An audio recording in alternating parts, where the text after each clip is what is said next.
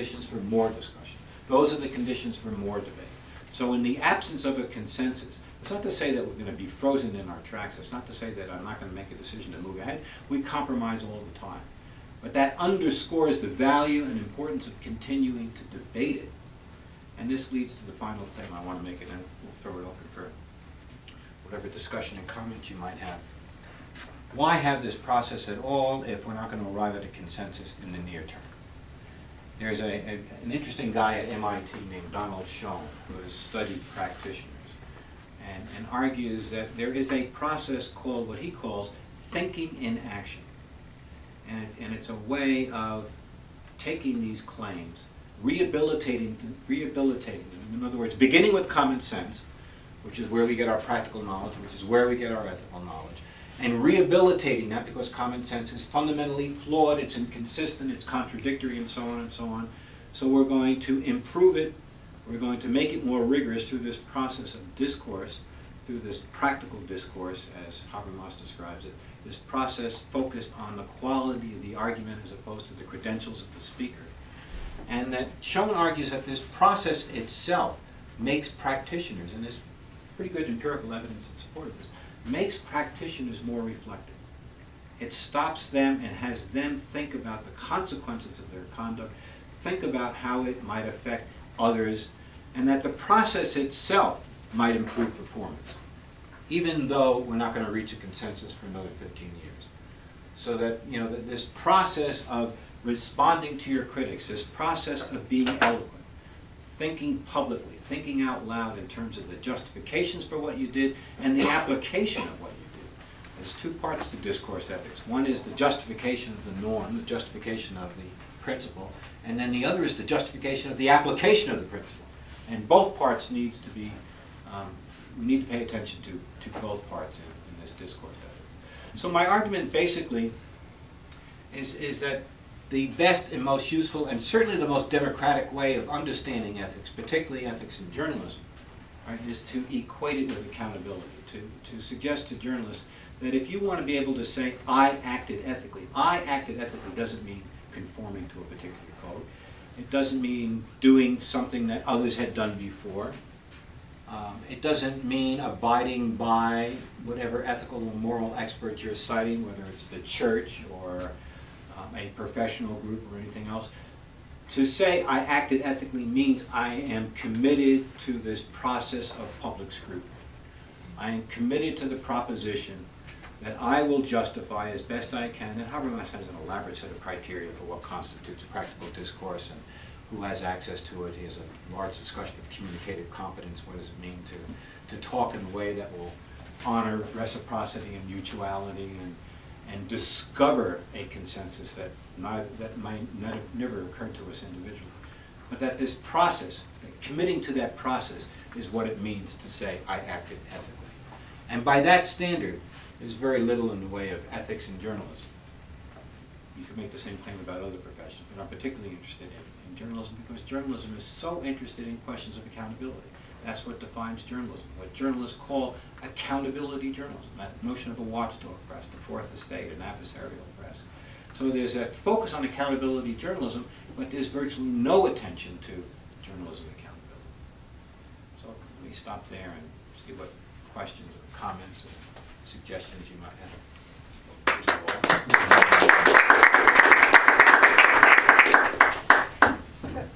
Professor, well, you know, I'm a journalist.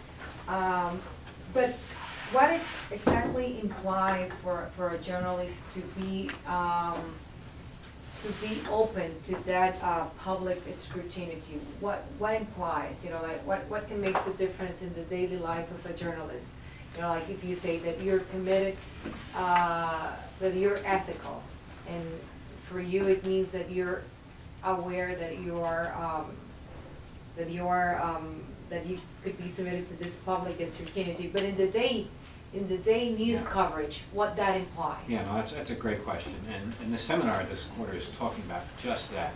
And clearly, we don't want to impose on journalists this burdensome um, scheme where they're responding to anyone and everyone with all sorts of complaints. There needs to be someone making threshold judgments about what kind of question is worthy of, of a response. We need a manager of deliberation, as it's, as it's been called. Somebody who's gonna make judgments about um, what issues meet this threshold, what issues require or deserve a response from the press. And the press needs to make an institutional commitment to this. The editors, the managers, the publishers need to be able to say to reporters, we're going to give you the time right, to respond to these questions, as opposed to saying, you know, do it on top of everything else. You've got a story due at five o'clock, you also have to set aside two hours to respond to this complaint.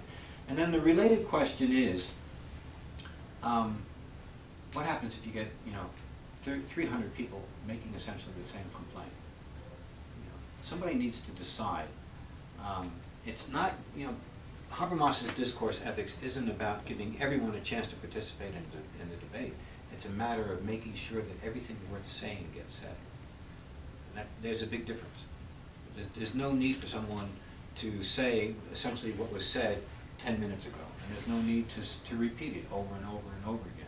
So we need to develop a system of representation so that all important ideas, all important arguments get entered into this forum um, wi- without being beaten up numerically. In other words, without having to hear the same argument three hundred times. Um, What's much more important is hearing the two novel arguments expressed clearly, articulate, articulately, and in the most compelling way.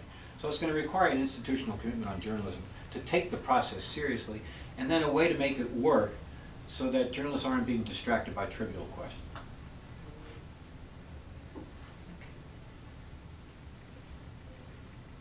I have uh, two very different questions. One has to do with, uh, with this absence of criticism within the press, about the press. Um, I don't know if this is a universal rule, but by and large, newspapers avoid criticizing other newspapers. They're all in the same business, so that is already a problem. Uh, And I think it is a problem from the viewpoint also of uh, common sense practicality, because that coupled with your initial statement about uh, the, uh, you know, the fact that one has to separate knowledge from interest. There's no knowledge that is, um, that is totally uh, neutral or uh, not associated with particular interests. Then we begin talking about the existence of separate communities, even within Right, journalism. right. And so common sense then uh, kind of explodes, and you have shards of common sense.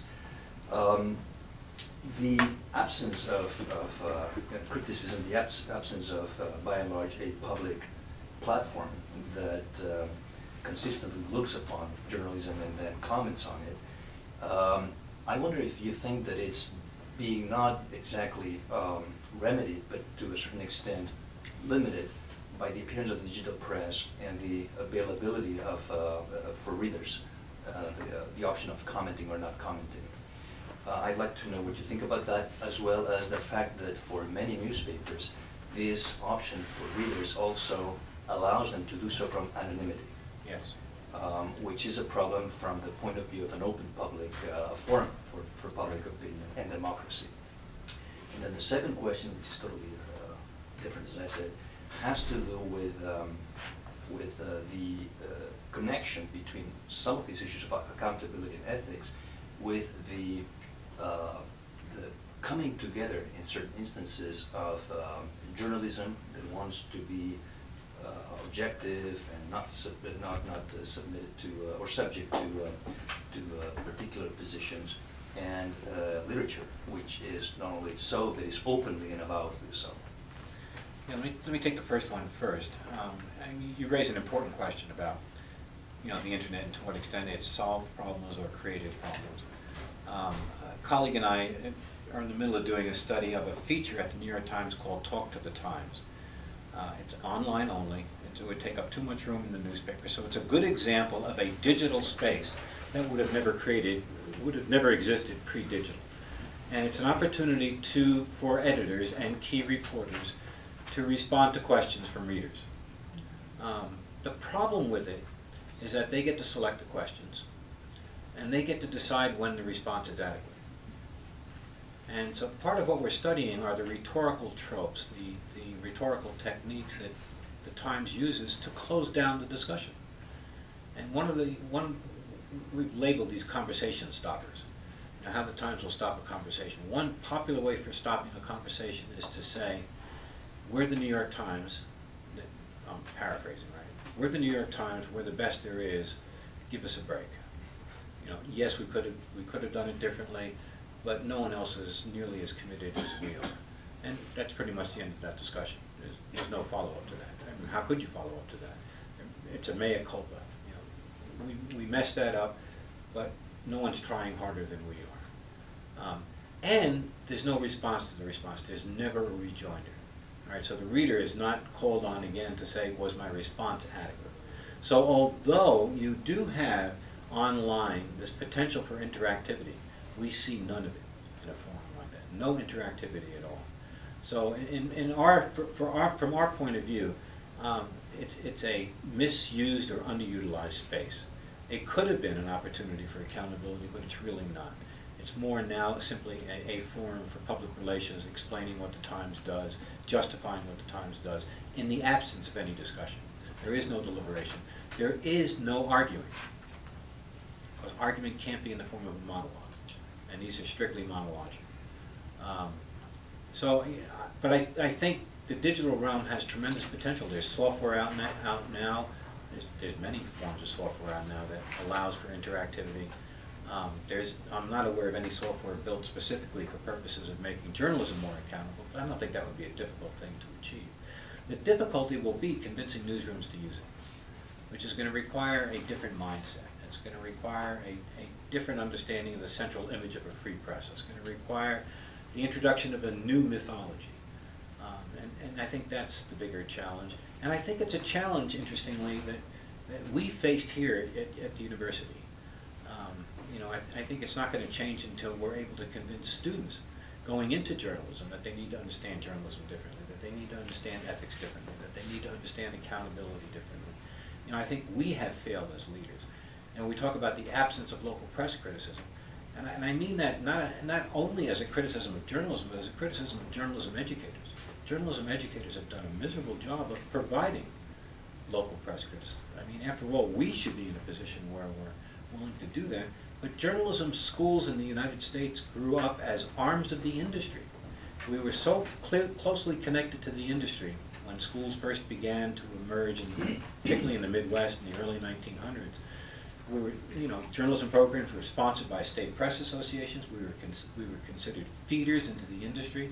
In fact, we organized our schools around the deployment of personnel in newsroom. Newsrooms had an advertising department. We had a department of advertising. They had a department of news editorial, it was called. We did too. Just as the digital landscape is changing, our curriculum is changing. But it's not leading the industry so much as, as it is reflective of the industry. We desperately need the industry support for internships, for funding for our research. It's difficult on the one hand to say we want to prepare our students for a job in your newsroom and then criticize your newsroom at the same time. I, I can't begin to tell you how many editors I've offended and how many internships I probably screwed up um, or lost uh, because of local battles with the press. So it, it's not an easy thing for journalism educators, to, not an easy role for journalism educators to play, but I think it's an absolutely essential role given the role that I think universities ought to be playing in society. Uh, and that is a fundamentally critical role. Not, not critical in a, in a partisan sense, critical in the sense that whatever the status quo is, the status quo needs to be publicly questioned constantly. That's that constant reinvigoration that I think the university needs to commit itself to, and I think journalism programs have by and large become too vocational over the years to do that, too tied to you make the same claim about other departments on campus too, but I'm mostly interested in, you know, the failings of my own domain. And the other question? had To do with literature and journalism. Yeah, you know, it's a missed opportunity. I, in, in some of my seminars, I had students read Hayden White's account of history and, and ask them to compare Hayden White's claims about history to journalists' claims about journalism. I mean, Hayden White, in, in his many books, argues, and this is a a crude reduction of his argument, but basically that history is, histories are stories. Stories about the past and stories about the past with a moral point of view. That there's no way to tell a story about the past without making a bigger point about what's right and wrong and good and bad. And I think journalists do exactly that on a day-to-day -day basis. And if we could just get journalists to reflect on the moral dimensions, we tried to do this in, in that book I wrote on investigative journalism and public virtue, you know, arguing that investigative journalism appears the paradox we tried to explore in that book. On the one hand, journalists um, claim to be, as investigative journalists, they claim to be exposing wrongdoing. And so we asked journalists, how do you go about exposing wrongdoing and at the same time claim to be morally disengaged? That was the paradox. And they have to claim to be morally disengaged, right, in order to maintain their professional credentials. And so, we, you know, we studied in this book the processes through which journalists convert moral claims into empirical claims. Of course, all that belongs in a news story are the empirical claims. So, and it's been, a, and it's a topic that's been studied by many other people. But journalists will defend the empirical aspects of their story, not the moral aspects of the story. And so what they end up doing is embedding the moral claims in the empirical claims so they can sidestep accountability for the morality or the moral positions of their story. But any investigative story is all about morality. It's all about good and bad and right and wrong. And they are patrolling the moral order. And they're pointing us in the direction of people who have violated the moral order. And what strikes me there is, is how it resonates with Hayden White's claims about history. That we understand the past in terms of what's good and bad, what's right and wrong. We understand yesterday in terms of what's right and wrong, good and bad. And in that sense, I don't see much difference between what journalists do and what historians do. And if you regard good histories as good and interesting literature. But invest, I'm just thinking local subject, Shirakawa, okay, corrupt political official, Right. okay? The- The investigative reporters are just following your common sense, Exactly. you know, this is offensive to everybody.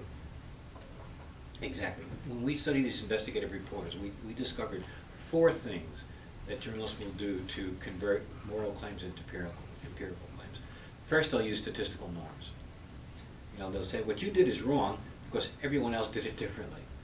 It's not an independent argument about, there's no objective claim If the whole tribe considers it wrong, it's Exactly, wrong. Exactly. If everyone else is doing it this way and you're doing it that way, you're wrong. That's, that's one way of doing it. Second way is to invoke uh, moral experts. What you did is wrong because so-and-so said you did it wrong. Who's so-and-so? It could be a priest, or it could be somebody who has technical knowledge. So one of the stories we looked at was um, police dogs in Philadelphia run amok. Police dogs that were biting too many people by accident. That could be a scandal, right? That Nutty police dogs are biting innocent people, and is, is that a sign of bad behavior, not on the part of the dogs, but on the part of the police department, or not? Well, the guy who did this story, who later won a Pulitzer Prize for it, struggled and struggled and struggled to find a moral expert, somebody who's willing to go on the record and say, that's wrong.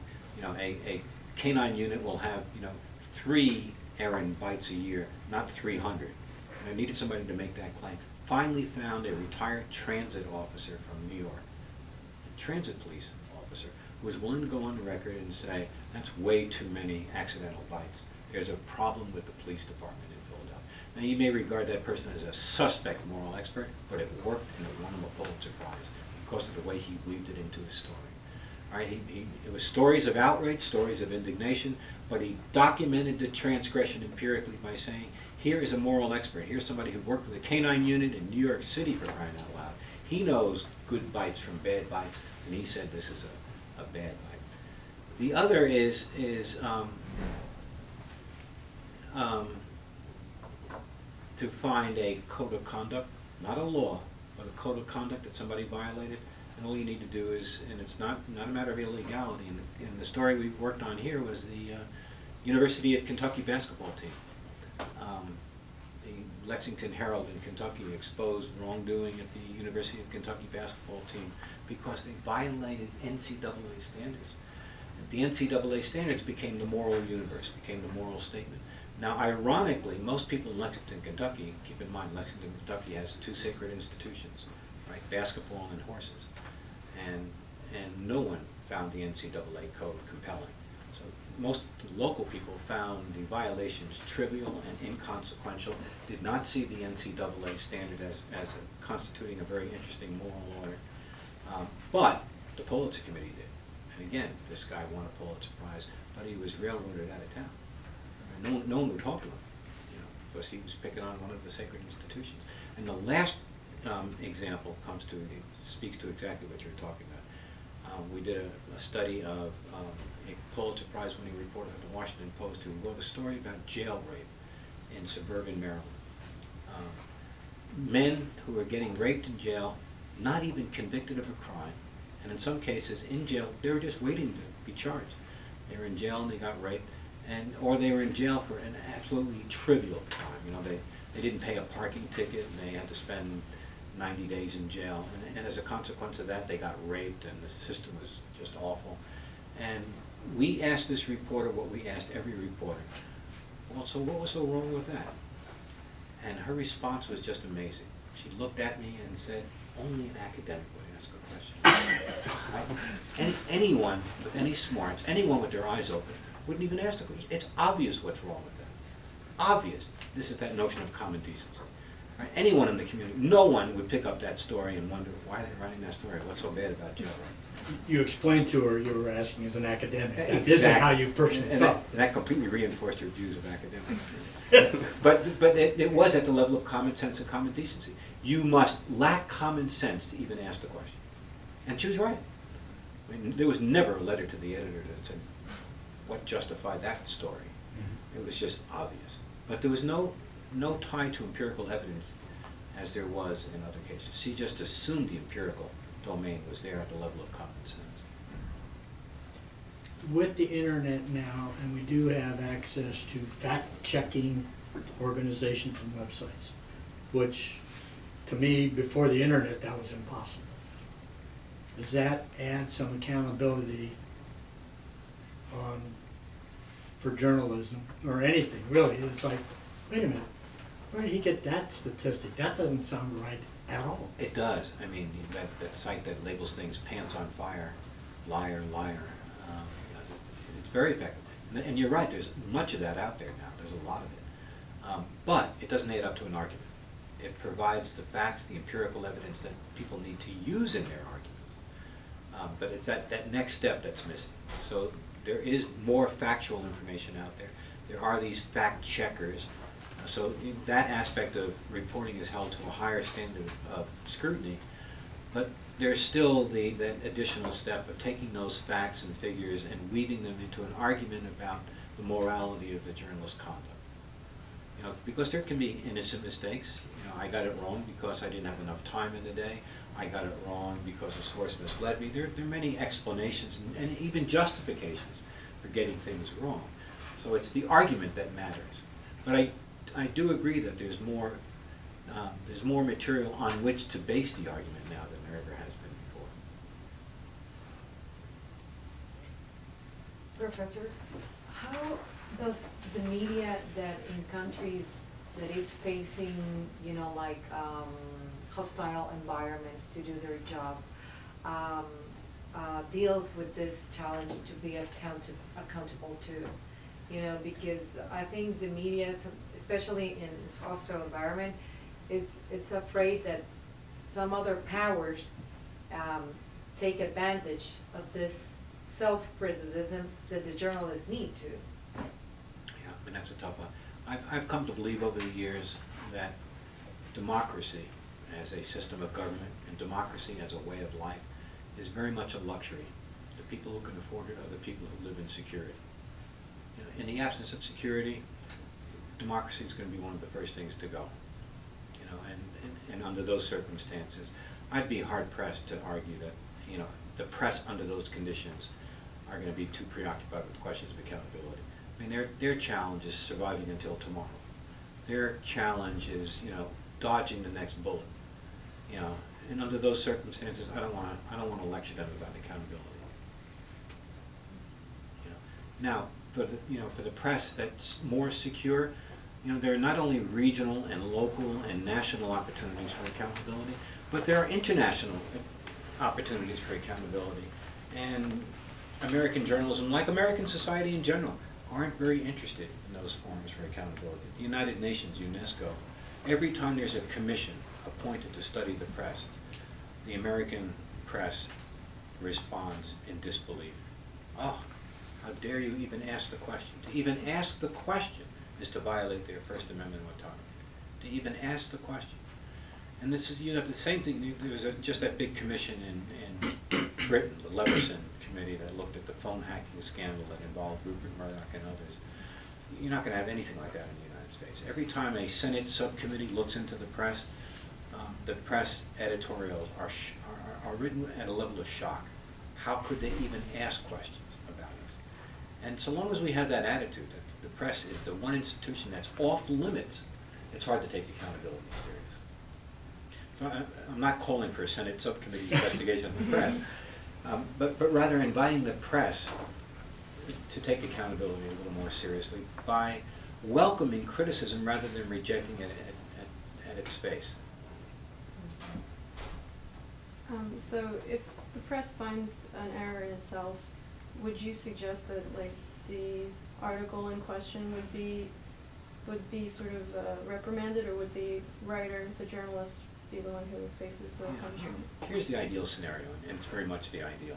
If there was a serious error in a story, not a trivial error, but a serious error, or uh, a serious error in fact, or a serious error in perspective, a serious error in context, whatever the, whatever the charge might be, um, the ideal scenario would be for the editor to invite someone from the community to comment on it. It might be you, or it might be somebody else, it might be an academic who um, might be willing to play that role. And then to have the people involved in the publication of the story respond. Now, it may be the reporter, it may be the reporter and the editor, it may be only the editor, I don't know. And, and this is, this is why we need a manager of deliberation, somebody who's in a position to say, um, here's a legitimate argument from a reader about the quality of your performance. Um, I want the two of you to respond. Then it goes back to the reader. Are you satisfied with the response? If you are, that's the end of it. If you're not, we need more discussion, right? As we move closer and closer to that ideal of consensus. How many iterations will we have? I don't know. Does it need to be done in a particular time frame? No, it doesn't need to be done by next Sunday. But it needs to be done while it's still fresh. And it needs to be public, which is to say it needs to be published so other people can join in. Now, you might say, that's a, that's really a luxury and it's expensive.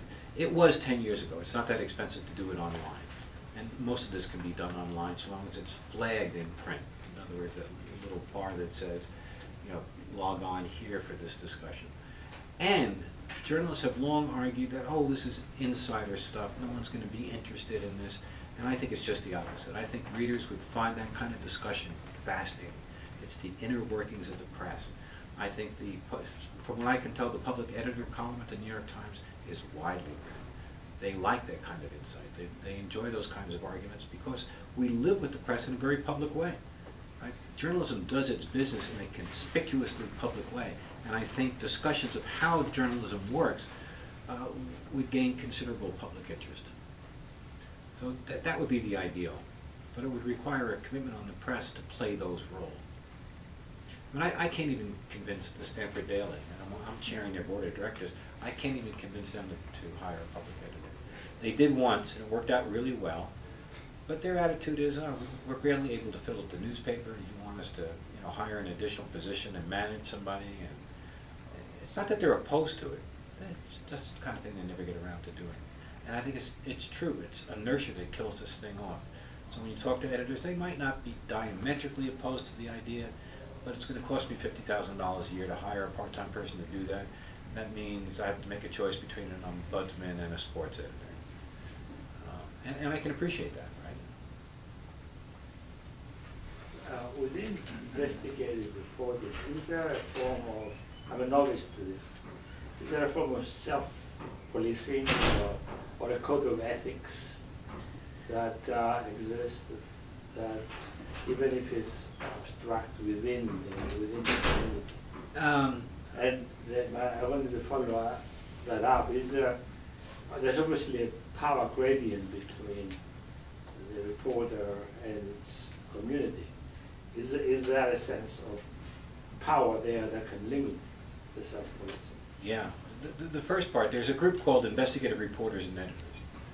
Um, and they meet every year, and, and they spend a lot of time talking about ethics. I don't think, as far as I know, they don't have a code of ethics.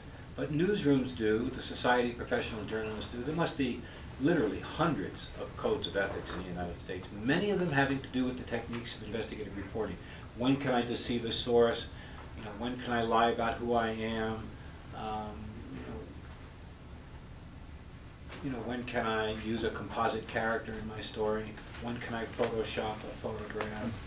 Um, Whatever the dilemma might be, there are codes that deal with that level of detail. You can go online and read the New York Times, New York Times Standard. It's very elaborate and very thoughtful. I mean, here's a newsroom that's really thought long and hard about these things. Um, It's just that their code involved, in terms of participating in the creation of the code, it involved journalists only. It didn't involve us. And we might have a very different agenda, a very different sense of what the interesting issues are than journalists would. In fact, research suggests that if- you ask readers to list the most interesting ethical questions in journalism, they often don't correspond at all to what journalists see as the most interesting issues in, in journalism. And so, you know, one of the problems with codes, as I said, is it isolates and insulates the profession from the larger community by, by specifying conduct that we take seriously or misconduct that we take seriously. And the implication is if it's not covered in our code, it's okay. If it's not covered in our code, it's okay to do. And I think you'd end up with a very different code if we sat around and ended up with a code as opposed to the code that a newsroom might end up with. What was the, the other part was? Power. Yeah, and this is why Habermas argues that credentials can't enter the forum. Um, it, it's his attempt to eliminate or at least reduce the conditions for coercion, which is to say power in Habermas's view. You know, that no one, and this goes back to the question you're asking about anonymity, and I have mixed feelings about that. On the one hand, you know, there's an absence of accountability with an anonymity if we don't know who's saying it. On the other hand, it's the anonymity that, that distances the person from their credentials. It forces you to pay attention to what's being said as opposed to who's being, who's saying it. So in, in Habermas's ideal world, um, we don't know who the reporter is. You know, we don't know who the reader is. We don't know who the mayor is. It's just their arguments that we're focusing on. And that's, you know, this is why it's called utopian. This is why we're struggling to figure out, given this ideal, how can we make this practical and workable, feasible and manageable, you know, all those things that will make this a, a viable proposal as opposed to a proposal that's going to make sense only in the context of a seminar. downside of this uh, Habermasian proposal is, of course, that it reflects or reminds us very, very much indeed of uh, a bureaucratic uh, construction, where it doesn't really matter what individual holds office, it's the whole thing that That's right. function, right? And, and that's right, and, and uh, this, this is exactly the area where codes of ethics have nothing to say. Codes of ethics deal with behavior at the level of individual. Codes of ethics seldom, I can't think of a single code that deals with the institution of journalism, the structural aspects of the institution, how the institution is placed in society. I can't think of a code of ethics, for example, in American journalism that has any statements about the political economy of American journalism. And many of us would argue that's where the really interesting ethical questions reside, are, in, are at the level of structure, at the level of economics. Um, that you know, a, a probably the two most interesting ethical questions in journalism today are ethical questions that aren't covered by any codes. One is the concentration of ownership in the American press. You know, a big ethical question in my mind is Rupert Murdoch and, and what we're going to do to rein him in. The second big question, and this is a relatively new question given the, the new digital landscape, what role, if any, can the state play in creating the conditions for more and better journalism? You know, that, in my mind, is the ethical question of the 21st century. All right, 10 years ago, I would have been laughed out of the room just by raising the question. What do you mean a role for the state? The state can't play any role in American journalism. given They're the le- one we're watching. Exactly. I mean, the only role the state can play is a laissez-faire role, which is to say no role, hands off, let the marketplace do what it do, do what it does best. Um, if it survives in the marketplace, it is by virtue of its survival good journalism. So the marketplace equates the public's interest with the public interest. Well, all of a sudden, we're faced with a set of situations where we recognize, finally, we recognize after 150 years, that the marketplace may not be able to sustain the amount and quality of journalism we agree we want. Even journalists are beginning to say that. So journalists now are, for the first time, taking seriously questions about a role for the state. Um, and that's just, that's just a remarkable development. I can't think of a single code of ethics has anything to say about that. In fact, journalists historically have denied that there's any role for the state. It could be or is, despite the fact that there are heavy subsidies for American journalism. Journalists don't use the word subsidies. You know, so that the American press in the United States has long had access to a second-class mailing permit. that none of us have access to, which allows magazine publishers and newspaper publishers to mail their periodicals out at a fraction of the rate that we would have to pay, because long ago we recognized the importance of distribution for the success of American journalism. I can't think of an American journalism operation that describes that as a state subsidy. That's exactly what it is. And we're beginning to recognize that state subsidies of the kind that exist in the Scandinavian countries, for example, in Sweden and Finland and Denmark, are the kinds of things we may need to take seriously if we want a daily newspaper in our community tomorrow as opposed to today.